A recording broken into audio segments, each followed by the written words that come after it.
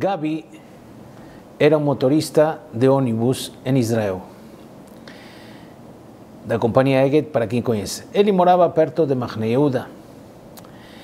E ele toda manhã, quando saía de, praticamente de madrugada, muito cedo, ele sempre se cruzava com, com um senhor de idade, barba branca, de aparência rabínica, e eles sempre este Rav abençoava ele. Dizia para ele que você possa ir em paz, voltar em paz, que leve, que não aconteça nenhum acidente, nenhum problema, que vá em shalom, volte em shalom, e assim abençoava ele todo dia. Depois de ele terminar de abençoar, então este Gabi também, motorista, falava para o olha, que o senhor também tenha um bom dia e um belo dia e assim por diante. Um dia, conta Gabi, eu estava doente, eu não conseguia sair da cama não conseguia ser com Na verdade, ele diz, eu queria só ir e passar pela rua só para receber a bênção do Rab. Mas não conseguia nem me mexer da cama. Na hora do almoço, lá pela uma hora, bate na porta e meu filho me diz, pai, tem um senhor velho, um senhor de idade, que ele quer te cumprimentar. Eu pulei da cama. Eu já imaginei quem era. Ele disse, por que o senhor veio até aqui? Porque o senhor veio até aqui. O senhor, e como sabia que eu estava doente? Ele falou simples. Vou começar pela segunda pergunta. Eu sabia que você estava doente porque você é uma pessoa responsável, que as pessoas precisam de você. E se você, mesmo assim, hoje de manhã não passou pela rua onde a gente se encontra, simplesmente pelo fato que você está doente. E eu vim aqui por duas razões. Primeiro, porque tem a mitzvah de Bikur Holim, visitar um doente. E segundo, porque você hoje não me abençoou e eu estou esperando sua brachá e eu não quero perder sua brachá. E eu fiquei branco, diz o homem. Eu, minha brachá, pensando para si, diz Gabi, eu não tenho nem kippah nem uso. Nem kippah eu estou usando. Eu abençoei ele, que tenha um bom dia, etc. E ele falou que você tinha melhoras, ele foi a e a gente se falou. Na verdade, quando ele saiu, eu sentei no sofá e comecei a chorar. Comecei a chorar. Nunca ninguém me tinha dado tanto valor. Que um Rav venha até aqui, dessa idade, e vir até aqui para receber minha brachá. A continuação da história conta Gabi. Eu comecei, no seguinte Shabbat, comecei na sinagoga.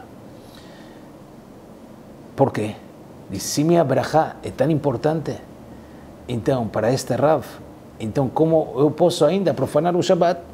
Eu como posso ainda não cumprir? E assim devagar eu fui subindo, subindo, subindo até que ele fez chuva e Hazar chuva. Então, conta Gabi, vocês querem saber quem é esse Rav? Eu vou dizer para vocês. Quando ele falece, eu fiquei sabendo quem era. Ele se chamava Rav Rafael Levin. E ele filho de seu grande pai, Rav Ari Levin, conhecido por sua bondade e seu amor por todo e qualquer Yehudi, ele aprendeu isso do pai. Mas o pai, de quem aprendeu? A dica sobre isto está na Perashat Shavua. Na Perashat Shavua, Moshe Rabbeinu em Devarim, começamos Devarim. E o Sefer Devarim é o livro de repreensão que Moshe chama a atenção do povo. E Moshe começa a falar e repreende o povo e diz: Asher Devarim, Asher Diber Moshe, e Moshe começa a citar os lugares onde eles pecaram. Bamidbar, quando vocês falaram no Midbar, que queriam morrer. Baraba, quando vocês pecaram no pecado de Baal, pior em Shittim, com as filhas de Midian. Molsuf, inclusive antes de atravessar o rio, o mar, o mar vermelho, vocês vamos voltar para Mitzrayim. Ben parar um Bentofel, Continua Moshe citando os lugares, certo? Ben Paran, o Bentofel, todos os problemas que aconteceram em Paran com os Meraglim, com os espiões. E depois Bentofel Belaban significa que eles reclamaram do man, que era branco. Bachatzerot, no Machloket de Korach. Vedizahav, e o broche de ouro, o bezerro de ouro que vocês fizeram. E Moshe, mesmo depois que repreende eles, no finalzinho, na continuação, depois de alguns versículos, começa a abençoar eles. E diz para eles: Olha, vocês estão todos aqui hoje, é? e diz Moshe para eles: Vejam, Hashem Elohim, Hashem Elohechem irba. No versículo 10. Hashem incrementou vocês, vinechem ayom, e vocês são hoje que correve Hashem larov, como as estrelas do céu. Hashem, continua Moshe falando. Eloquei avotechem, Yosef alechem, kachem, elef peamim. Que Hashem abençoe vocês e faça de vocês mil vezes mais. Vivarech etchem kaesher diber lachem. E abençoe vocês conforme. Mas a pergunta é, como? Moshe está repreendendo o povo e abençoa eles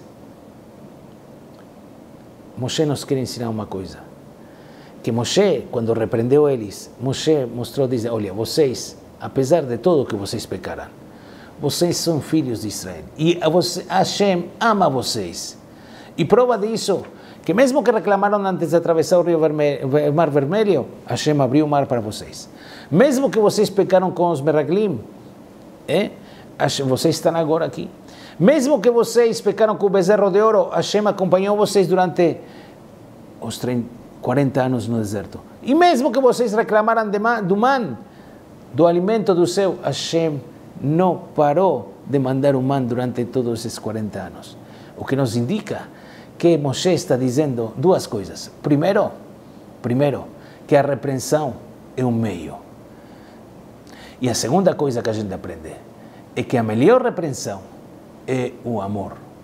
Um ato de carinho, um ato de amor com a outra pessoa. Como fez este Rav, Rav Rafael Levin, com este motorista, que transformou ele em Baal apenas com amor. Ele fez ele fazer chuva. Este é o melhor caminho. E então, e assim como disse Gabi, o motorista, não é bonito se um Rav tão importante me pede uma brachá, Deus continua profanando o Shabbat. Então, se nós somos tão queridos para Kadosh Baruch Hu, e somos tão amados por Hashem, não é bonito fazer coisas que contradizem a sua vontade. Então, vamos analisar isto e pensar quanto amor Hashem tem por nós. E toda a repreensão, ver e saber, repreensão não é uma finalidade, repreensão é um meio. E se já tem repreensão, tem que envolver-la ela com muito carinho e amor. Shabbat Shalom.